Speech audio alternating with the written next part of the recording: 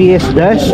Yan sa halagang 8,000 mga karepo, maiuwi mo na to. Sa halagang 5,000 mga karepo. Browser 135 sa halagang 4 4,000. Sa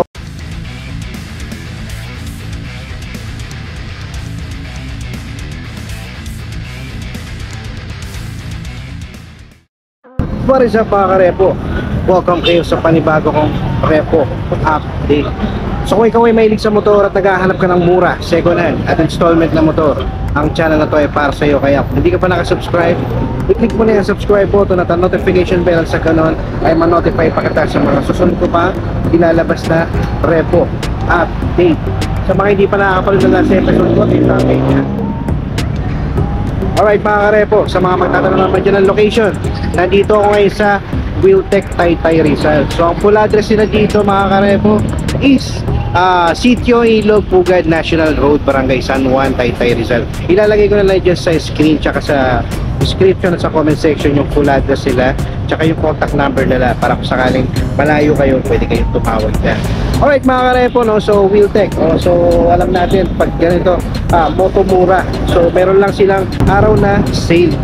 Okay mga karepo, no? so dito meron ako nakita dito, TV Dash, yan o, sa halagang 14,000, pwede mo na maiuwi ito mga karepo.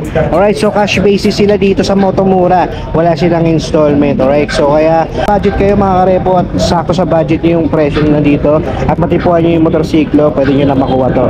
Alright, so yan mga karepo, sa kondisyon na ito yan, makikita nyo naman sa video, mileage na ito mga karepo, 12,000 lang. Yan o, sa halagang 14,000. Dito naman banda mga karepo, sa mga naghahanap dyan ng ah, version 1 na Honda Click 150i, ito meron sila dito, ang kulay niya is yellow. Napalitan na siya ng kulay, pero pwede, pwede nyo siyang palitan kung sakaling magustuhan nyo to. No? Sa halagang 25,000, pwede na to. Sa auto niya, di natin makikita kasi semi-digital panel to. Alright, so yan. So sa appearance niya, okay pa naman siya mga karepo. Goods pa naman yung fairings niya, no? Sa kulay lang talaga. Alright, so sa headlight niya, wala siyang basag.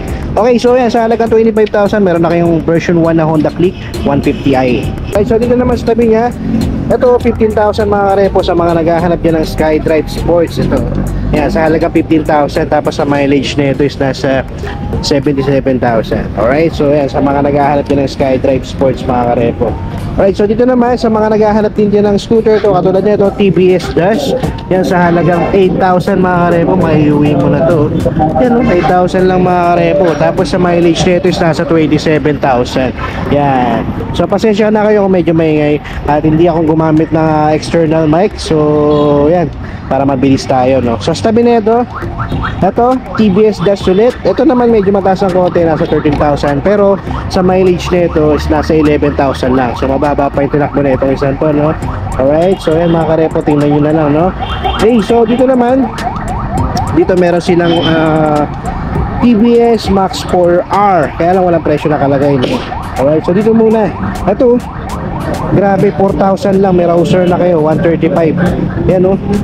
Browser 135 sa halagang 4 4,000. Sa Odo nito, yan, di natin makikita digital panel. Pero yan o, kung meron kayo 4,000, pwede nyo na mauwi, mauwi itong browser na to.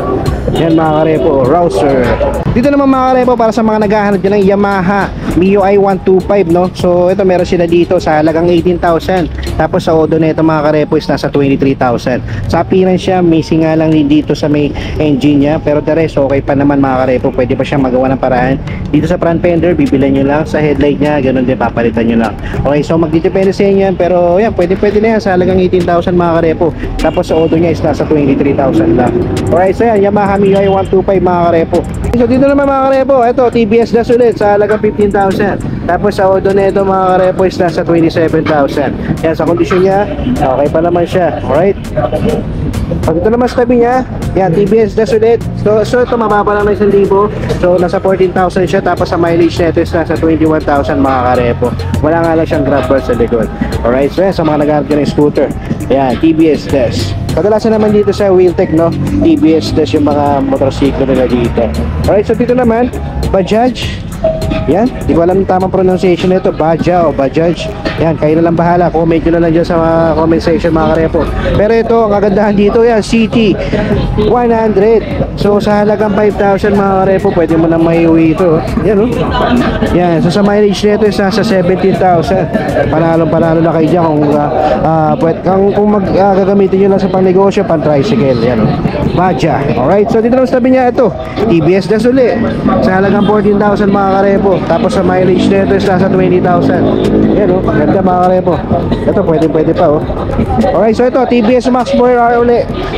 Ito naman may presyo. Yan sa halagang 14,000 mga karepo, maiuwi mo na to. Tapos sa mileage nasa 57,000. Alright. So yan oh, sa mga nagbabalak niya mag uh, tricycle, pang service pwede rin, pang negosyo pwede rin.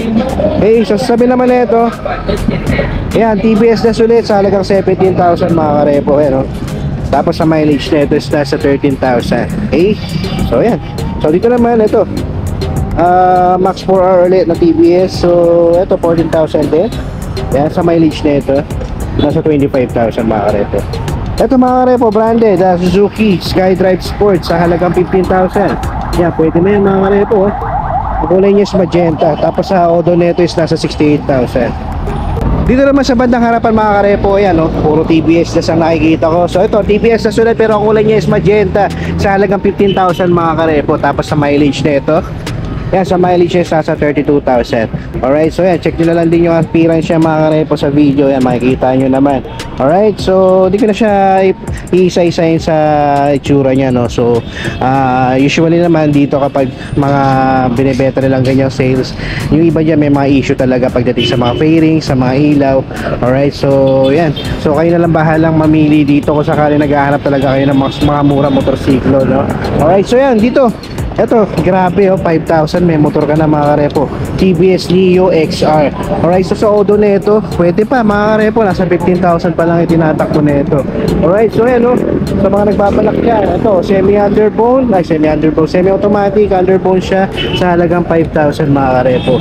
Alright, sa tabi niya, ayan, sa mga naghahanap dyan ng TBS, Apache 200 FI, ayan oh, 200 uh, cc na motor sa halagang 20,000. Yan oh, pwede pwede na to mga karepo. Yan, alright. So sa mileage yan, di natin makikita. Digital panel, pero yan, oh. Yan, check na lang dito mga karepo sa nag-aarap dyan ng pang ah, big bike. Yan, oh, 20,000. Ito rin, same unit din. Ah, ito naman, mat, mat no? So sa halagang 20,000 din mga karepo. Yan, oh, dalawang big bike. Sa mga nag-aarap dyan ng big bike, ito dalawa. Meron, halagang 20,000 lang. Alright, so dito naman, ito, pwede pang service, so XL100. Ah, sa halagang 14,000. Okay, so sa mileage nito is nasa 8,000 lang, oh. Baba pa ng tinakbo nito, oh. Yan, sa mga nagbabalak niyang kumuha ng motorsiklo na pang service, pwede na to, oh. Alright, so sa mga naghanap naman ng scooter, ito, TBS gas uli. Ito naman, 13,000 mga karepo. Tapos sa mileage niya, nasa 30, 31,000. Alright, so, yun, oh, sa appearance niya. Check, check nyo na lang mga karepo. Alright, so, dito naman sa tabi, same unit din. Ito mataas lang ng 1,000. 14,000 TBS dash. So, sa mileage niya, ito is nasa 38,000. Yan, aftermarket na yung cover assist niya, pero okay pa. Okay, so yan, sa mga naghahanap naman dito ng ano, TBS Max 15, yan, sa halagang 14,000. Tapos sa mileage niya mga karepo is nasa 16,000 lang. Alright, so yan, okay pa yung seats niya, no? Pairing siya, all, all, all goods pa mga karepo. Headlight, dito lang sa signal. Yan, so ayusin niyo pa yung dito. Pero yan, sa halagang 14,000, pwede pwede na yan. Alright, so sa mga naghahanap naman dyan ng ano, Honda Wave, ito meron sila oh, sa halagang 8,000. Yan oh. Wave, ah, 110S. So sa mileage is nasa 85,000. Sira nga lang yung ano, ah, panel lens. Okay, so aftermarket na yung governance seats niya, wala siyang grabber sa likod. Pero the rest, okay pa naman yung mga karepo sa halagang 8,000. Pwede pwede na yan. Alright, so yan no, TBS das uli. Yan, 14,000. Yan, naglalaro lang sa 14,000, 15,000 yung mga TBS das nila, no?